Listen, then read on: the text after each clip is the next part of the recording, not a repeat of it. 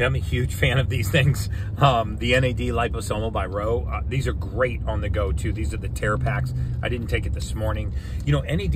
It's it's actually not NAD. It's NAD plus, and that little positive is is the reduced form of NAD, which means that that charge can't really pass through first pass metabolism. You can't just drop NAD into the stomach. It will just immediately dissociate. So when you put it in a liposomal form um, you can also do it intravenously. A lot of people do NAD by injection or they do it in, in high dose um, uh, vitamin drips, but those are long duration drips.